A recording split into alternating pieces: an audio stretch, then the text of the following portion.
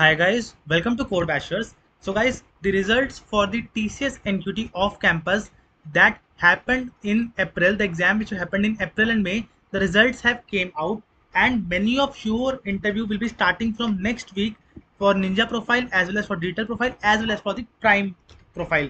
So many of the interview experience I have covered in January, February also when the first phase of on-campus hiring began. So a lot of interview experiences videos are there for Ninja and Digital.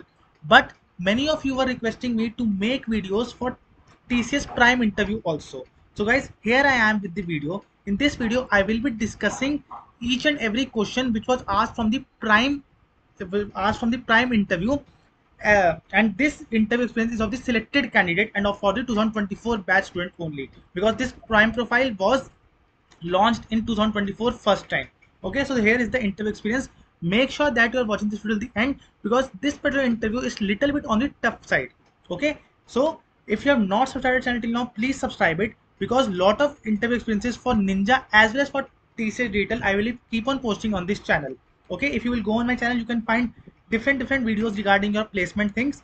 Uh, recently only i have uploaded a video to for your resume review also because lot of people will be now applying in cognizant also. The hiring is starting from the interviews are starting from 10th of june so many of them will, you will be applying on uh, in cognizant also.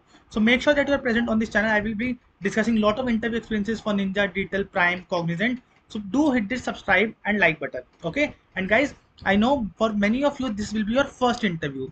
And if you are not confident about your interview then you can give us the mock interview. The links you will find in the description box. We will take mock interviews. The slots are very limited. So make sure that you book your slots as soon as possible the links for this mock interview you will find in the description box. So guys now let's start this video and before starting the video please hit that like button as well as the subscribe button for this channel.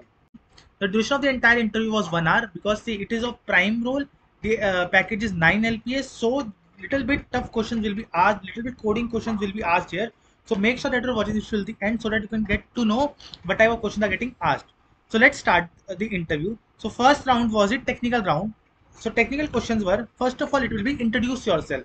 So guys in introduction for yourself there is some points i will be giving you that you can uh, you, uh, that you can tell to the interviewer. First is about your background that from which college you have done education which is your what is uh, what is your branch. Then you can come to your skills. Then you can come to your projects. At least two technical projects should be there in your resume. It will give a very good impression to the interviewer.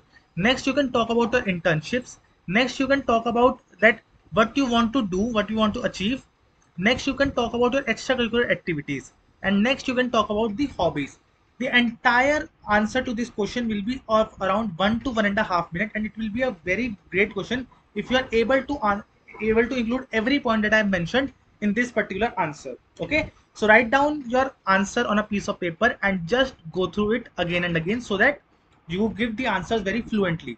Okay. Moving ahead, the next question was which language you prefer. So you can prefer Python, you can prefer Java or you can prefer C++. So any one language you can prefer, you should not know every language, but one major language you should know. Okay.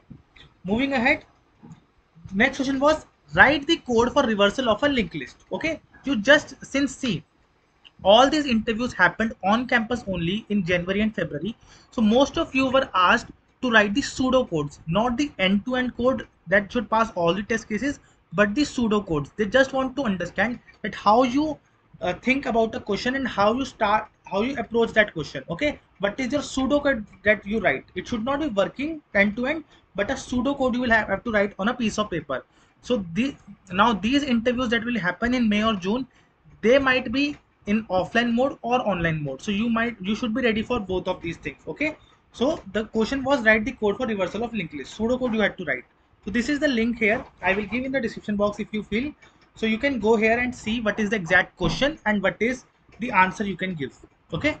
Moving ahead, there was another coding question that was asked that is write the code for counting different characters in a string. So this is a bit on the easier side, but you will be wondering that how, how many coding questions are asked and why they are asked. So since this is a prime profile, the package is high, so they expect the candidate to have an average and above average knowledge of the coding part also. That is a DSA data structure and algorithm. So therefore you can expect at least two to three coding questions also here to write it down okay? So counting different characters in string. Again this is the link i will try to give in the description box okay? Next is tell me about collection frameworks in java and why it is used. So what is collection frameworks? So collection frameworks are the inbuilt linked list that we use inbuilt sets we use inbuilt array list we use. So this is what a collection frameworks looks like in java. And why we use it? So see whenever we are doing any uh, uh, whenever we are writing codes in big mncs so we won't be writing uh, every code from scratch. We will be using a built-on libraries built-in libraries also built-on built-in functions also. Such examples are of set array list and so on. Hash map also so you will not implement everything in companies just you will use the inbuilt functions of those. So therefore a collection framework is very useful because it will help you in writing the code, code fast and in efficient way. So i hope this question is clear to you. Now what are different different collection frameworks? You will have to google them because see the motive of this video is to give you the type of the questions that are getting asked not the answers. Answers are available on google okay? They're not new questions Does the different different type of questions you must be prepared with okay? Moving ahead for the next question what is the difference between hash map and concurrent hash map? Again it's a very common question. You might expect when asked about java. So again you can google this question and you can find your answer with. Next question is what is the difference between comparator and comparable? Again comparator where we use so whenever we have to sort in ascending whenever we are using inbuilt functions we need to uh, do operations based on our function. That is we need to sort in descending order we need to sort in ascending order or the priority queue we used in those things we you pass the comparator so that the resultant data structure is of our preference okay next is comparable is to compare two things again the detail on difference you can read in this article okay so i hope this thing is clear to you Next, moving ahead is a define static keyword in Java. So again, there is static keyword used for variables. There is static keyword used for functions. So what is the difference between uh, static uh, variables and static functions? You can read about that. Okay. And everything like every outcome that why static variables are used, why static functions are used. What is the meaning of public static void main in, in the Java uh, class. So all these things you can read about this particular keyword. Okay next coming to was to next keyword was define synchronized keyword in java so there are a lot of threads that are going on while we are writing code so every uh, so our code a piece of code that should be common in across all the threads it is written in synchronized keyword okay? Again in detail you can find on the article given on geeks for geeks. So if you are if you are watching this video here i hope it is you are finding it useful. Please hit that like and subscribe button for this channel. And also again i will like to tell you if you're not confident about your interview or you want us to review your resume you can come book a slot with us. We are taking mock interviews for ninja digital prime profiles and also we are doing resume reviews for different different students okay so you can come here you can book your slots the links will find in the description box so let's continue the video now so these were all the technical questions that we have discussed till now so since there were two coding questions, so there were a lot of time given. So around 40 minutes technical round only went, okay, out of one hour. Moving ahead was the managerial round. So there are three rounds in interview. One is technical round, next is managerial round, and then is the HR round. Moving ahead with the managerial round, first question was explain your project in detail. So again, it's a very uh, common question across all the companies, whether it is Infosys, TCS, Cognizant. It is very much important.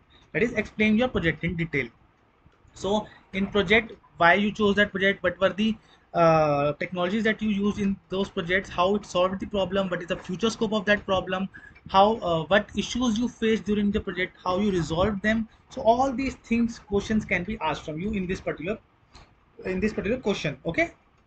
So i hope this thing is clear to you. All these things you have to prepare. Next is any internships you did in college. So many of you prepare for internships and this prime profile will again uh, if you have done internships as well as personal projects it will give you advantage okay? It will go, give a good impression to the interviewer next uh, question was any internships you did in your college? Again same thing. If you have done any internships you, you should explain everything that what was your project what was your technology how it was impacting the business and how how smooth it went and what were the challenges you faced what new things you learned how you tackle the team members in there. So how it was working in teams so all these things will be noted. Okay? So prepare for these things as well next question in managerial round was what were the learnings from your internship? Again i have told you so learnings might not be technical only but on the uh, team level that how you manage different different people how you contribute in a team how you uh, uh, define different different goals and stories to different different team members okay? So this will be a good thing to know. Next question was explain any situation in which you were in pressure so again managerial rounds are all in in these uh, rounds you will be given a situational question and you will be asked that what will be your move in those situations. For example any situation you were in pressure and what you did in that situation was that a right thing? Who did you consult?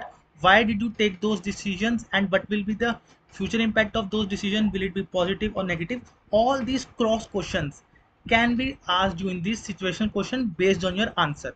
So always answer in a positive way. Again i am telling you always answer these situational questions in a positive way. So you will be good to go. Next question was how will you handle conflicts in your team? So again when we are working in a team there are multiple people multiple ideas multiple approaches to go.